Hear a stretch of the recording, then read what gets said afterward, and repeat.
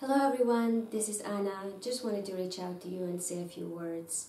This has been such a difficult and a very, very sad time for everyone, for the entire world.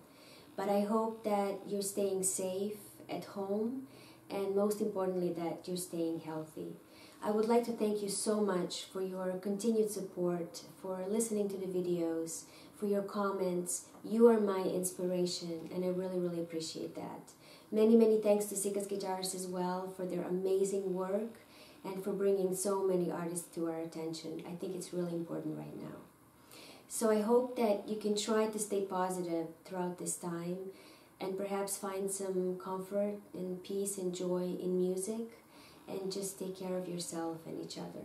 I wish you well and hopefully this too shall pass and life will get back to normal again. So I would like to invite you to the live premiere on the Siccas Guitars YouTube channel on Saturday, April 25th at 8 p.m. German time. I will be there live chatting with you and playing some new repertoire. So please don't forget to set the reminders and the link to the premiere is in the description.